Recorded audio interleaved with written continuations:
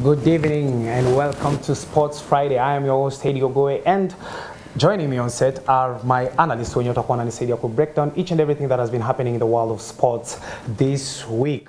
Now on my far hand I have uh, Edgar Wabwire who is uh, joining us today to help us analyze everything that has been happening in the sports world. Uh, in the center we have Shafi Zele, Shafi Zele, and then on my we have Brian Mushiri, who will also be joining us throughout our local Uendutamwitaga, our residential analyst. now, to begin with, we begin with the story of uh, Doha, where Team Kenya dominated in Doha as the athletes put up a fight. Now, curtains came down on the IAAF Athletics champions on Sunday in Doha, with Kenya finishing second behind United States of America. It was a repeat of the 2017 edition in London, where Kenya emerged runners-up as USA won the overall title. Kenya also picked 11 medals in Doha, with five being gold, two silvers, four bronze. Only Ellen Obiri, 5,000 meters, and Conselas Kipruto, 3,000 meters steeplechase defenders, defended their titles. Faith Chepngetich, 15,000 meters champion in London, settled for silver, while 2017 World Marathon champion Jeffrey Curie finished 14. Now, guys, you must have you must have been following the Doha Championships, ndio? Now, it's, it's the second time Kenya is finishing second. Uh, this is something that uh, siko sure kama tunafaa kuwa proud of ama kukuwa a little bit worried. Uh, but it, it does send a statement that we are consistent, at least to some extent, does it? Yes, I think I need to take this faster. Please Uh, do.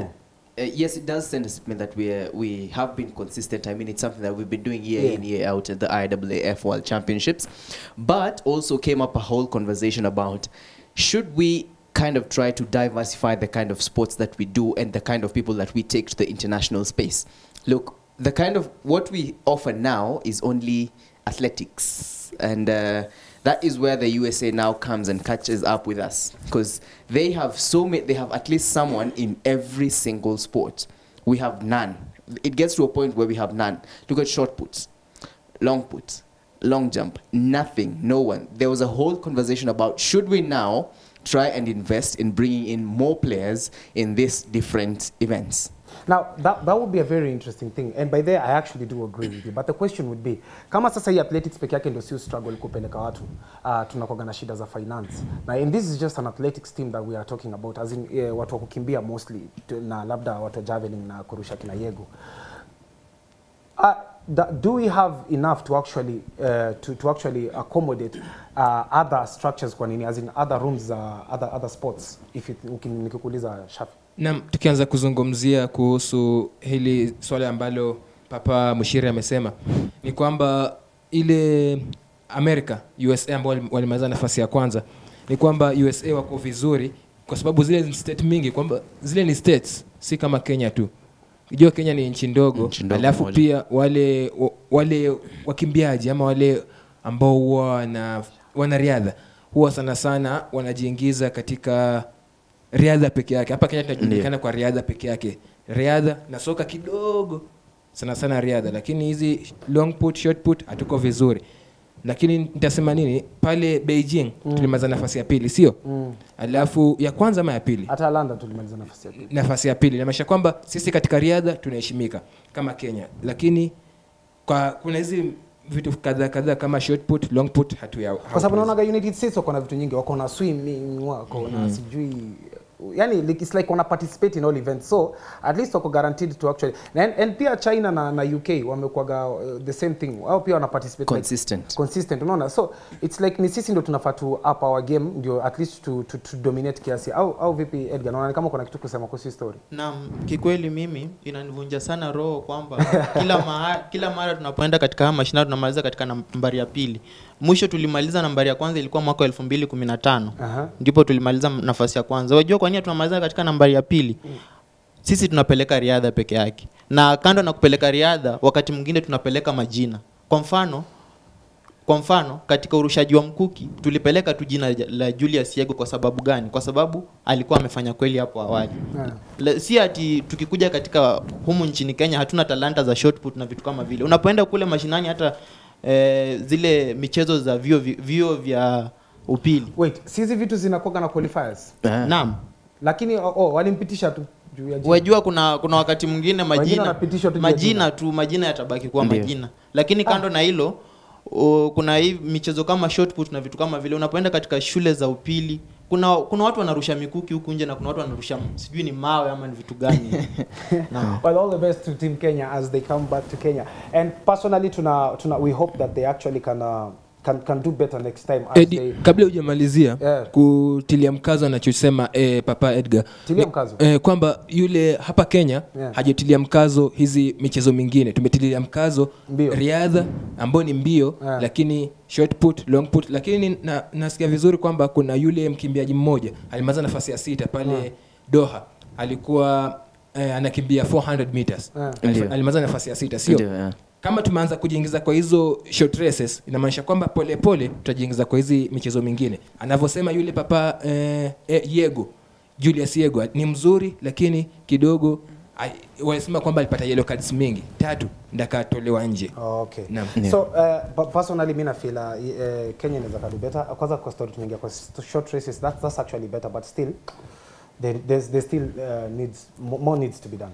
Uh, moving on to the next story, all, all is set as Kipchoge waits awaits uh, Saturday's challenge, yeah, 1.59, which is something that has been trending all over Kenya and actually, to be honest, uh, throughout the world. Even jana uh, nini Euro, Europa ikichezwa nasikia uh, watu wa Austria wako wanashughulika sana na game yao, walikuwa na pay attention sana kwa uh, Ineos challenge. Anyway, Kenya World Marathon record holder Eliud Kipchoge will be hoping all goes his way for Saturday's race against time. First uh, run was in Athens 1986, 1996. In just under three hours, the marathon has become a classic challenge for thousands of runners around the world. 41 athletes will act as pace setters for world marathon record holder as he attempts to become the first human being to run the marathon under two hours. Ineos 159 challenge in Vienna, Austria. The 41 runners, 41 runners will play a crucial role pacing Kipchoge to the historic time as planned by the organizers. Now, this is a little bit interesting. Uh, this is a little bit interesting considering the fact that um, enye kama kuna siku kama kuna wiki Kenya imetrend ni tukitoa tu ile story ya ile gari ile sink yenye imepatikana leo. We Yeah. Thank God for that. I think this has been the, the second most biggest story. Yes. Na hii hata imetrend, hii imetrend in places that hata tulikuwa tunaweza kufikiria tunaweza ka trend. But it's, it's really interesting because uh, we, we, to, it, it shows something. Tumeacha kushindana na watu sasa tunashindana na nature. Well, yes, but uh, it's all about Eliud. I mean, Yeah, for someone who has interacted with Eliud initially, really humble guy, really hardworking guy, really disciplined guy. And it's a, a couple of things that I keep telling you here. You need to be, you can be talented, but with no discipline and hard work, True. you hakuna mahali utaenda. And you cannot, unaweza kosa hiyo talent, but with hard work and discipline, you can actually do a great job. Now, also, look at what I've been telling you over and over again. When we have the numbers, corporates come in. Look at what Safaricom did. Imagine you changing the entire logo yeah, for that. It was very M-Pesa because of what you do. Look at what YouTube and Google Kenya have come in and done. For tomorrow, from 7 to 6 p.m., from 7 a.m. to 6 p.m., Kenya is trending. you will be able to live stream that race by Eliud for free. You see, that's what you do when you bring corporates, when you bring numbers to the game. Well, corporates get interested.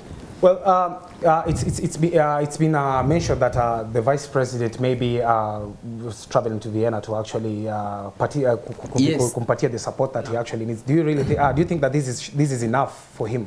na mwajua mimi kando na hiyo rais naibu wa rais kwenda kule kum, kumpiga kampani na vitu kama vile mi kitu kinachonifurahisha na hii Ineos nam ni Eliud Kipchoge ametuleta pamoja kama wakenya hakuna wakati ambapo wakenya wamekuwa pamoja kama wakati huu wajua ina, ina, ina, inafurahisha sana na inatutia motisha. Na nam tukirejelea hili hili suala la naibu wa rais kwenda kule itam, itampatia motisha sana. Ata, atajua lazima hii rekodi nikaweze kuivunja.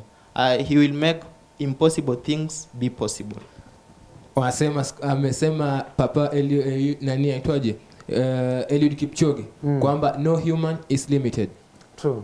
Oh, hiyo- hiyo ndio- the- main focus, hiyo ndio tagline kwa story yote. no human is limited namaanisha nini kwamba yule jamaa amejipanga amefanya mazoezi ako na discipline alivyosema papa mshiri kwamba yule eh, eh, eh, Eliud ako na discipline amefanya mazoezi ya kutosha alafu ndio maana hawa safaricom wamejiingiza ndani alafu napata eh, zile vitu vingi vya vya u- u- semaje zile za maduka ama uzaji sana sana zimejiingiza pale. Kwa mfano safaricom imesema kwamba kuanzia kesho kuanzia kuanzia leo kwa, usiku wa leo kuanzia saa saba usiku unaweza kuwa unaweza pata bundles eh, free youtube ambao utakuwa na stream sana pale. Alafu Eliud mwenyewe vile vile amewapatia Kenya motisha. Si rahisi binadamu kwenda kupishana na wakati Well, all the best to Eliud as he takes on the challenge tomorrow against time. And we'll all in Kenya be giving him the support that he needs. Tutanunua mabundles na tutawasha ma wifi.